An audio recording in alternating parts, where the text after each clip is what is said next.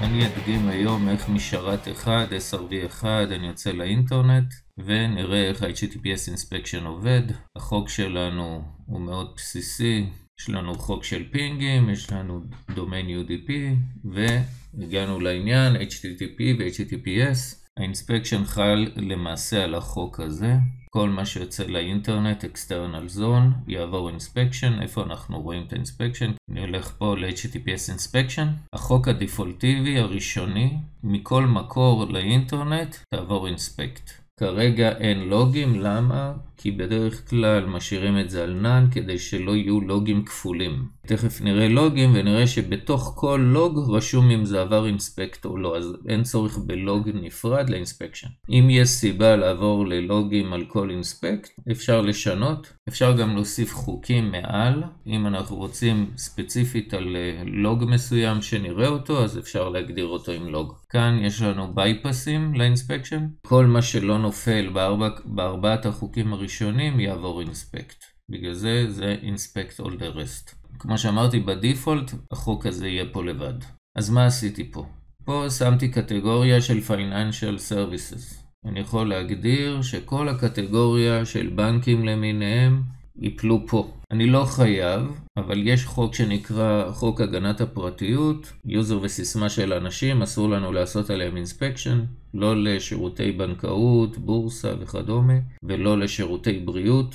אז בגלל זה אנחנו יכולים לשים את כל ה-Financial Services, בדרך כלל לא עושים את זה, עושים פרטני. אנחנו יכולים לשים לכל ה-Health, אבל גם את זה לא עושים, עושים פרטני. אם אנחנו רוצים לקופות חולים הפופולריות, או לכל הקופות חולים בארץ, אפשר להוסיף פשוט ידני. פה זה בשביל הדוגמה, שמתי את כל ה-Health, תכף נדגים את זה.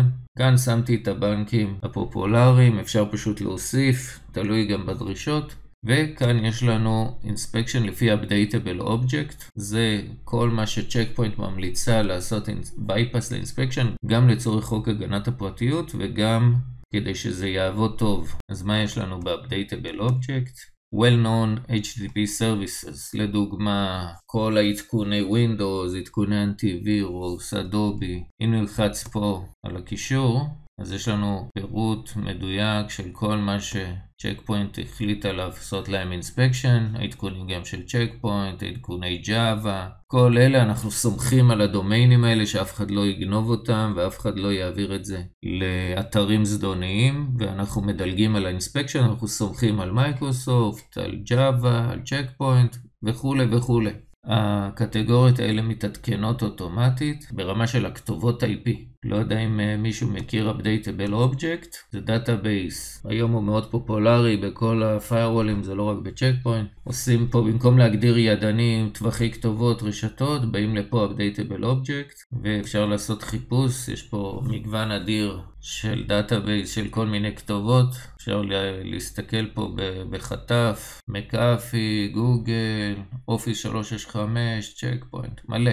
אנחנו בענייני HTTPS Inspection, אז ברגע שאני אקליד HTTPS Service Bypass ו-Recommended Bypass, זה מה ששמתי. אז זה באמת מומלץ, אחרת כל עדכון Windows יעבור Inspection, ולפעמים זה לא עובד, אז שמים אותם. זה קטגוריה שמומלץ לשים. ברגע שאנחנו עושים OK, הצ'ק פוינט מתעדכן, כאילו ה-Firewall מתעדכן מול הענן של צ'ק פוינט ויקבל את כל הכתובות IP שהוא צריך לעשות להם bypass. בואו נראה איך זה עובד בפועל. אמרנו שאנחנו מדגימים דרך SRV1, הוא ה client שלנו. אז הנה כבר יש לי פה את הדפים פתוחים.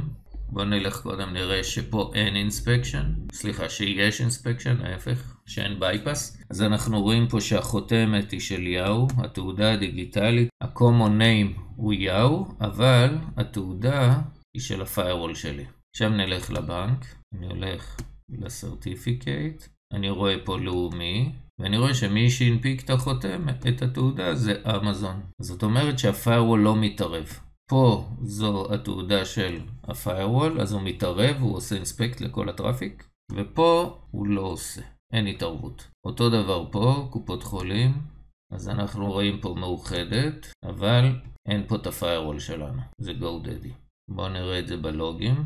אני פשוט עושה פילטר לפי Blade HTTPS Inspection, ואנחנו נראה מה עבר אינספקט ומה עבר bypass. אז שימו לב, יש לנו פה Blade HTTPS Inspection, וכאן אנחנו רואים בייפסים, ואנחנו יכולים לראות bypass inspection with updatable. זה, הפור... זה החוק שהגדרתי לפי updatable object. בואו נראה אם רואים פה גם את החוק. הנה, פה רואים את זה. recommended bypass. אנחנו רואים רק את ה-IP, אנחנו לא רואים לאיזה דומיין זה הולך, אבל אפשר לחפש אותו. זה האחלה אתר שאני משתמש בו. שמים פה כתובת IP. ורואים למי הכתובת הזאת שייכת, Microsoft Corporation. כאן אפשר לקבל עוד פרטים, זה שזה מייקרוסופט